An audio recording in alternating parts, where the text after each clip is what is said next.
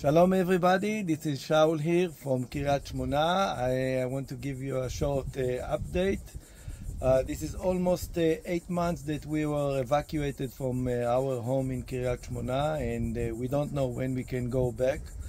Uh, the fire and the bombing in the north is still uh, happen on the daily basis almost, but we are trying to manage and we make like a kind of a war routine and we are going to work uh, with the students that actually were evacuated as well and I try to meet them uh, on in the north from the Golan Heights till Afula. Uh, just to let you know that uh, our uh, home were uh, got a direct hit by a rocket and there is lots of damage but I am sure that we're going to fix it when the when the world will end.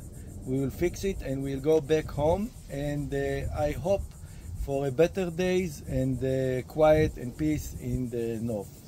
Uh, thank you for watching, and I looking forward to see you here. Take care. Bye.